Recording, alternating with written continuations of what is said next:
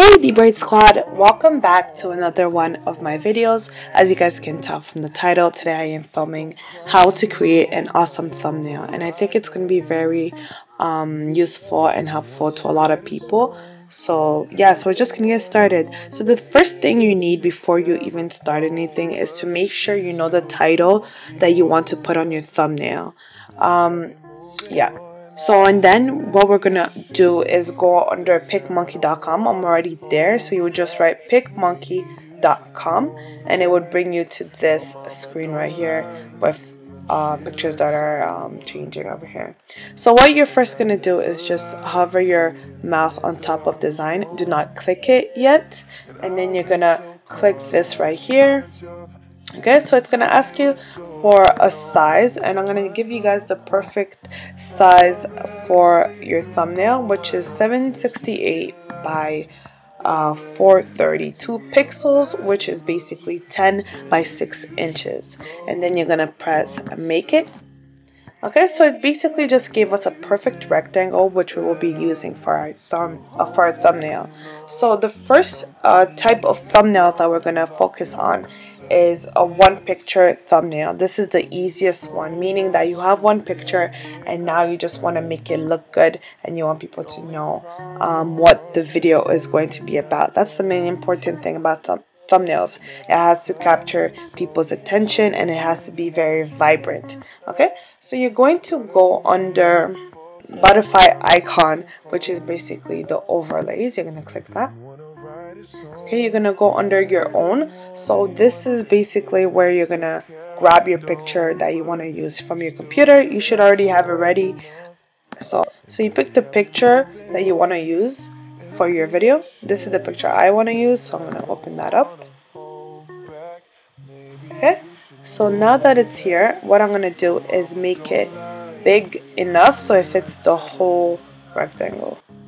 And make sure it's proportionate so it looks good. And it's not, um, just make it a good size so it doesn't look squished or it doesn't look uh, stretched out. Just make it a really good size. Okay? So now that you have your one picture there are three things that we can do. You can just add text make it look good with text or you can do a shape border which you could do a triangle or rectangle. So I'm going to show you guys those three things. So the first thing we're going to do is being uh, the text focused. So for text focused what we're going to do we're going to go under the overlay again. And then under overlay we have geometric. You're gonna click geometric and then you're gonna click this rectangle which will appear over here.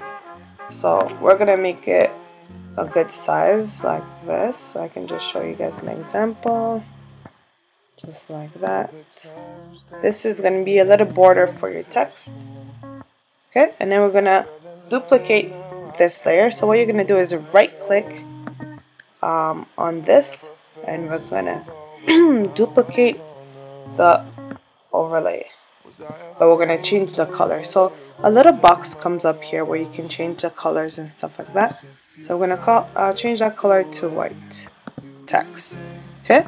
Now for text you're gonna go under this icon that says that has the letters TNT and it says um, so you click that. Okay? So the text is gonna load all the text. The pretty cool thing about this site is that it has uh, their own text and also the the text that are saved on your computer. So if you have any text that you have saved on your computer also appears here which is really convenient I get some of most of my text from a site called dafont.com I'm gonna put a um, a link over here somewhere. But um, yeah. So you have to think of what font you want to use because you want to use a font that will um, get people's attention. What I like to use is Impact because um, if you're going for something bold. So let's say my video uh, is a get ready with me for New Year's. Okay, so I would write it like that. Okay, I'm gonna change the color. You can change the color over here. I'm to change the color to white. And I'm to make it bigger. Okay? So, I'm going to put it right here. I'm going to make it a little bit bigger so I can fit the whole thing. Okay? So just adjust it as you please. Uh-huh. Just like that. So, you can move it around obviously however you want. But this is the example I'm going to give you guys. So I did this so that it's bold and it sticks out. And then you have your other border where you would write your other one. So you can duplicate this layer and then just change the text. That's what I like to do so I don't have to necessarily create a new. Uh, you right click on the text and you click duplicate text. Okay? And then you're gonna double click that. Change the color, we're gonna change it to black and we're to change the text to the name of my channel and then we're to bring it down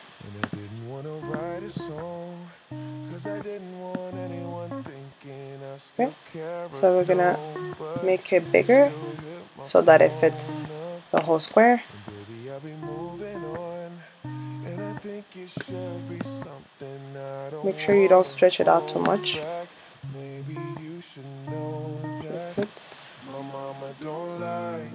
and you can use the arrows obviously to move. The text up or down. And see we there we have some text, some perfect text.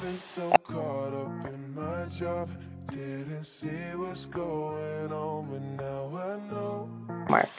And there you have one of an idea for a thumbnail with more um, text focused. Okay, so I'm gonna show you guys the second way um, a different way to add uh, to do your thumbnail but with shape borders. So like I said earlier you can do um, with a triangle or a rectangle. I'm gonna show you guys first uh, how to do it as with a triangle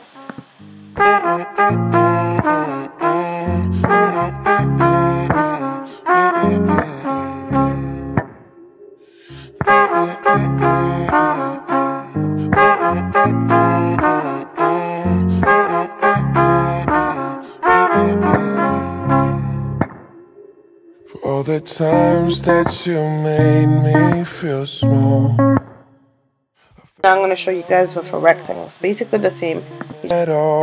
I never felt so low when I was vulnerable. Was I a fool to let you break down my walls?